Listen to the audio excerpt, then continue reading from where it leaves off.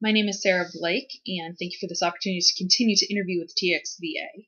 Um, about myself, I grew up in California where I went preschool through high school and graduated high school um, as a valedictorian with a 4.12, where I proceeded to go to college just about 20 minutes away from where I grew up in Orange, California at Chapman University. I got my teaching credential while I was there, as well as a BA in communications.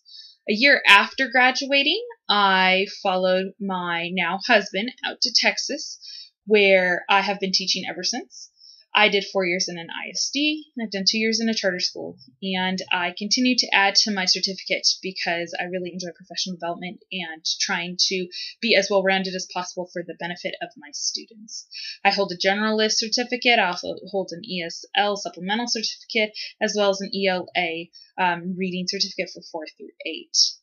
I currently do a lot of data interpretation for my charter school. Um, I have been uh, pulling reports and doing a lot of things for my students so that they understand where they're at, they understand what I expect from them, and they understand where I'd like them to be.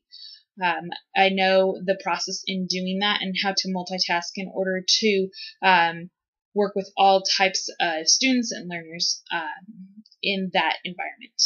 Right now, I live in a 102 year old house in Dallas, Texas, with my dogs, my husband, and our daughter we really just enjoy being a part of this community and we own a small business in the uh, DFW area. So having this opportunity will allow um, us to just continue to be part of the Texas community, and uh, we really appreciate. I really appreciate the opportunity. Thanks so much.